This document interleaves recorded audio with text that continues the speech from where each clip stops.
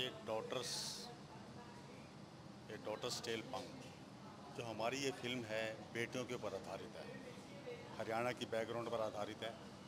जैसे हरियाणा में मोस्टली क्या है बेटियों को अहमियत नहीं दी जाती। बेटियों को कोख में मार दिया जाता है और बेटों को ज़्यादा अहमियत दी जाती है। हमने इस फ़िल्म में ये दिखाया है कि बेटियाँ भी जो हैं, किसी तरह से बेटों से कम नहीं हैं। जो बेटे कर सकते हैं, उससे बढ़ के बेटियाँ कर सकती हैं।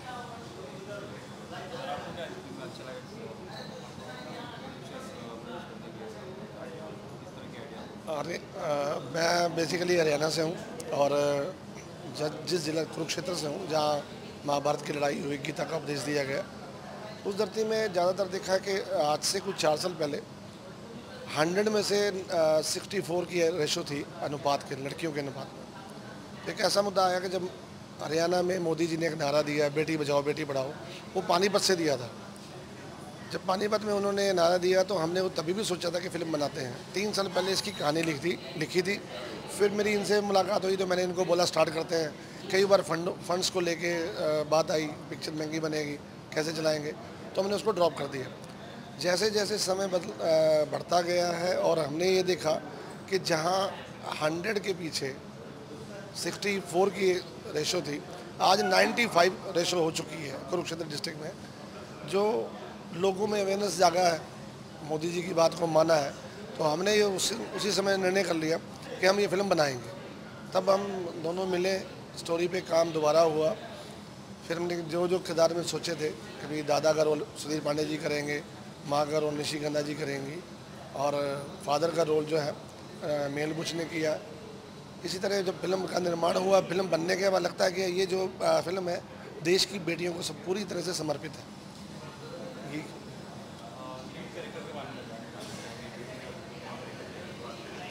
जो। बेटियों का करेक्टर है, सुरभि कक्कड़, जो बड़ी बेटी बनी है, पत्रकार है, और दूसरी बेटी है रागिनी दीक्षित, जो कि एक लॉयर है, और तीसरी बेटी है स्टेफी पटेल, जो कि एक मॉडल है हीरोइन बनना चाहती है।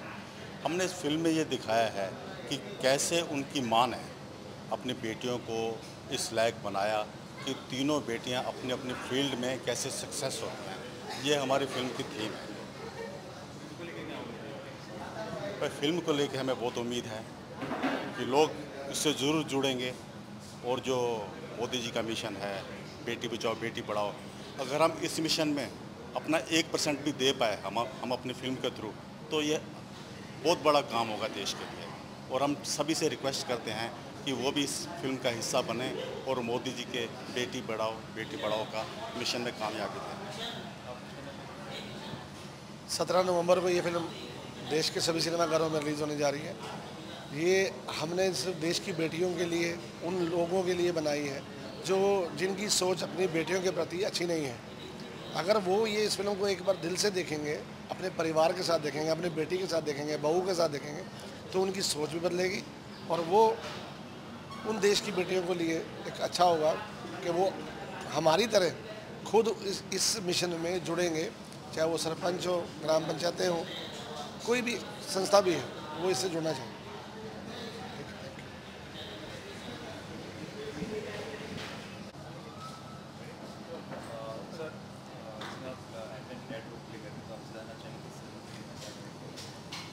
ये जो पंख टेल ऑफ़ डॉटर्स जो है ये एक आ, इस परिवार के मेरी पोतियों की आ, उनकी ज़िंदगी की उड़ान है ये।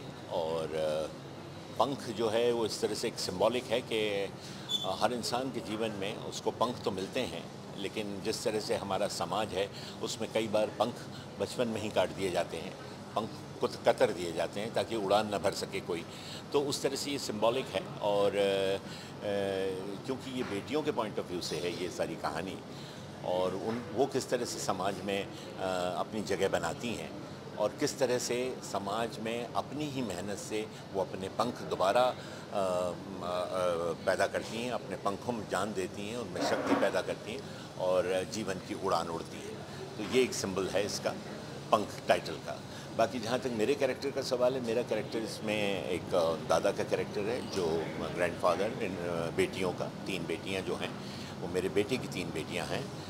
दो बेटियाँ हो चुकी होती हैं, तीसरी बेटी के मैं फेवर में नहीं होता हूँ। दादा कहता है कि दो बेटियाँ हो गई हैं, वो काफ़ी हैं अभी ये तीसरी बेटी की बिल्कुल ज़रूरत नहीं है और मुझे एक बेटा चाहिए, चाहे कुछ भी हो जाए क्योंकि मेरा वंश जो है, वो मेरा जो है, पोता ही चला पाएगा। तो ये लड़कियाँ जो हैं वो उसमें तो बहू उस रिवोल्ट करती है। वो कहती है कि मैं एबॉर्शन नहीं कराऊँगी मैं इस बच्चे को जन्म दूँगी और उस बच्चे को पालूँगी। और फिर किस तरह से आगे कहानी पढ़ती है और वो बच्ची को इंडिपेंडेंट बनाने में कैसे उसको शिक्षित करती है और कैसे अपने मकसद में वो लोग कामयाब होते हैं, ये कहानी का वो है। क्योंकि इसके बीच का कंटेंट बताऊँगा तो उसका मज़ा चला जाएगा। लेकिन आखिर में वो तीनों बेटियाँ और बहू हमारी जीत जाती हैं और जो दादा है वो उनके पास जाकर अपनी गलती का एहसास करता है वो रियलाइज़ करता है कि उससे कितनी बड़ी भूल हो गई और वो अपनी बहू से कहता है कि अगर हो सके मुझे माफ़ कर दो। आ, मैं कहीं गलत था। तो ये एक मैसेज भेजा जाता है समाज में जाता है इस कहानी के द्वारा। तो अब देखते हैं कि दर्शक इसे कितना स्वीकार करते हैं।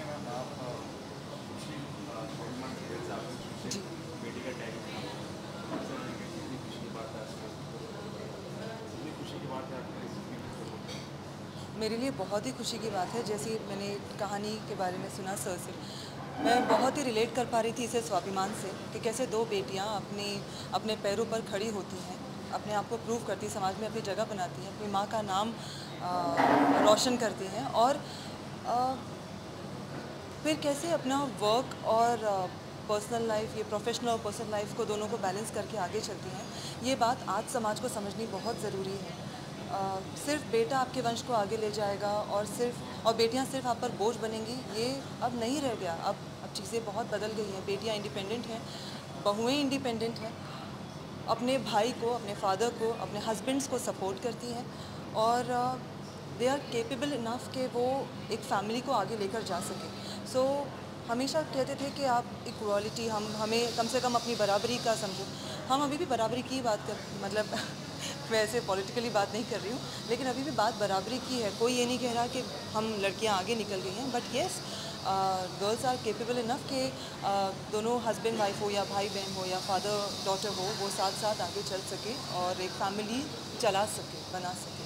They are capable enough and independent enough तो मेरे लिए सॉरी ये मेरे लिए बहुत खुशी की बात है कि मुझे इस फ़िल्म को सपोर्ट करने का मौका मिला। और जब मैं सर से इस कहानी के बारे में सुन रही थी, मैं मैं सच में अब देखना चाहती हूँ। I am waiting for this film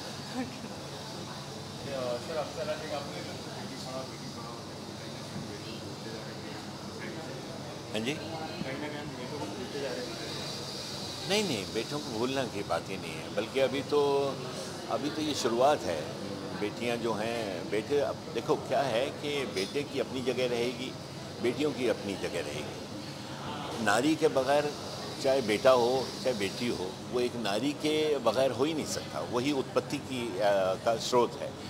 तो नारी को तो वैसे ही सम्मान देना चाहिए हर हर हालत में। हम ये कह ही नहीं सकते कि आदमी जो है वो नारी से बड़ा है और ये वो क्योंकि नारी के बगैर आदमी है ही नहीं। तो इसलिए बेटे को हम कहीं भूलते जा रहे हैं ऐसा है ही नहीं। बेटा कभी भूला नहीं जाएगा बेटी भी कभी नहीं भूली जाएगी। दोनों की बराबरी जो है वो ऐसा है कि दोनों को समाज में बराबर स्थान मिलना चाहिए। हम अगर ये समझें कि बेटियाँ कमज़ोर हैं और बेटा जो है वो बलशाली है ये सोच गलत है। या बेटा ही सब कुछ कर सकता है, बेटियाँ नहीं कर, काम आएँगी। या बेटे ही हमारे काम आएँगे, बेटियाँ नहीं आएँगी। ये जो एक लोगों की धारणा है, ये गलत है। इसको कहीं सुधारना है। इसमें किसी किसी को अगर हम शिक्षित कर रहे हैं तो इसका मतलब ये नहीं कि बेटों को हम शिक्षित नहीं करना चाहते। वो दोनों को बराबर चलना होगा। कंधे से कंधा मिलाकर इस समाज में आगे बढ़ना होगा।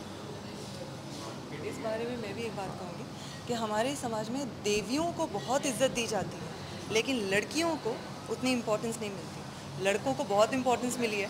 अब जब लड़कियों को धीरे धीरे इंपॉर्टेंस मिलना शुरू होगा तो लड़कों को इनसिक्योरिटी तो होगी और प्लीज़ दिल पे मतलब बात सिर्फ़ बराबरी की हो रही है। यहाँ पे कोई ये नहीं कह रहा कि लड़कों को कम इम्पोर्टेंस देनी चाहिए। बहुत ज़्यादा। शो तो मैं बहुत ही मिस करती हूँ। शो पे होना टीम हमारी जो टीम थी वो इतनी अच्छी थी। हमारी टीम को मिस करती हूँ सेट को मिस करती हूँ। डेली शूट पर जाना मेरा कैरेक्टर मेघना मेरे सब चीज़ें बहुत ज़रूरी बन गई थी। मेरी ज़िंदगी का बहुत ऐसा हिस्सा जो मैं कभी अलग कर ही नहीं सकती। तो यस मैं मिस मिस तो करती हूँ। क्या होता है अभी after a show like that इतना स्ट्रॉन्ग कैरेक्टर करने के बाद में I am waiting for something जो उसकी टक्कर का हो। तो हाँ है कुछ पाइपलाइन देखिए आगे क्या वर्कआउट करता है।